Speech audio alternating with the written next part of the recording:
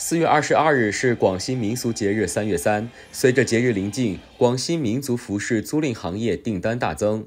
在三月三，换上漂亮的民族服饰，唱山歌、抛绣球、吃五色糯米饭，成为广西人不可缺少的过节仪式感。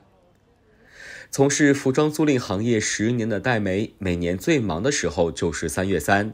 戴梅介绍，前来租赁服装的客人看得最多的民族服装是壮族和苗族。嗯，现在租赁的话呢，这一个还是比较好，大家都比较重视，所以的话客源也比较多一点。壮族是属于广西的一个最大的少数民族，所以壮族比较多。然后就是呃苗族，你看这个花边，呃都是壮锦。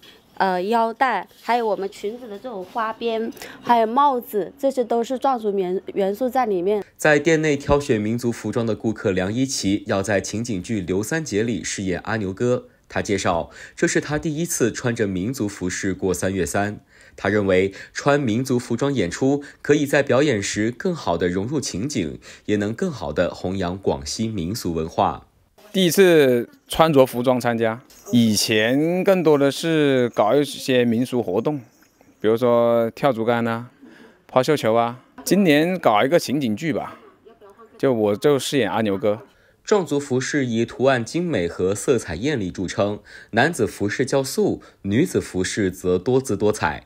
为上小学的女儿挑选壮族服装的顾客王洋洋告诉记者，他是山东人，此前在山东从未了解过广西的民俗文化。现在他在南宁定居，看着广西的民众纷纷为三月三的节日挑选盛装，他也感到很开心。特别羡慕广西人有这样一个三月三放假的机会，然后这时候我们能跟着孩子一起过这个节，心情也是非常激动。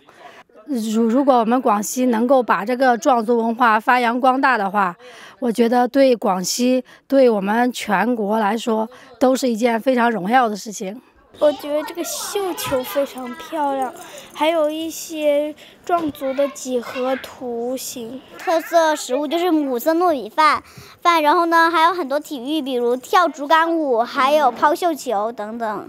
据了解，二零二三年壮族三月三八桂嘉年华活动从四月二十一日开始，一直持续至五月二十二日。在一个月的时间里，广西壮族自治区将开展九项重点活动和桂丰壮育农民族体育炫、相约游广西、一网喜乐购、和谐在八桂等五大板块，共四十一个大类活动。全区三月三活动将达一千多场。